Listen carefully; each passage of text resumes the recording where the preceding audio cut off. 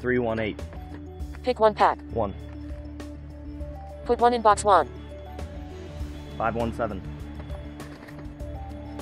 Stack 51. Level 205. Ready. Bin section 02. I work for Patterson Logistics. It's the logistics arm of Patterson Companies. We have 14 legacy fulfillment centers. Um, and those 14 legacy fulfillment centers fulfill orders for dental and veterinary clinics. We'll handle about 25,000 orders a day. All of those orders are um, on demand, so as we get the order, we'll ship the order. We don't pull those orders overnight. Um, our, typically, we'll ship to about 93% of our customers next day ground.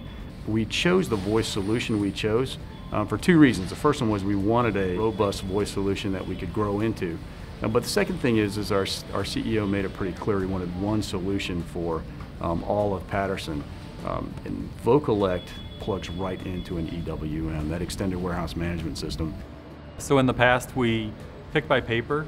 Uh, an order filler would get a stack of paper, and they would pull 10, 12 orders at a time.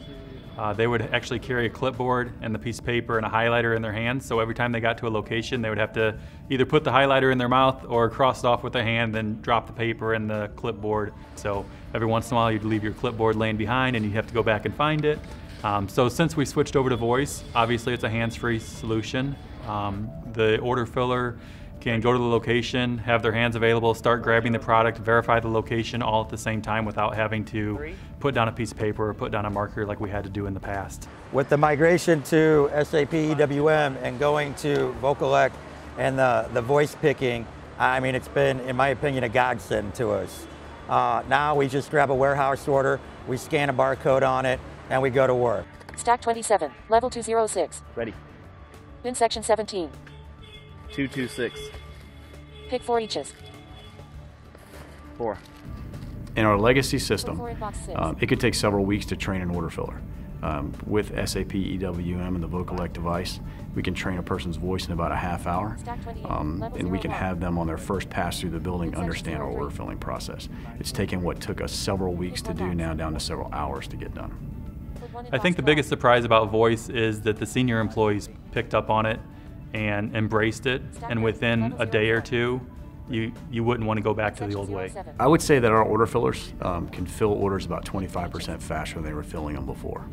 We've improved our internal error rate for about one for 300 lines picked um, to one for 1,000 lines picked. Through this entire process, Vitech's done a really nice job of bringing resources to bear for us.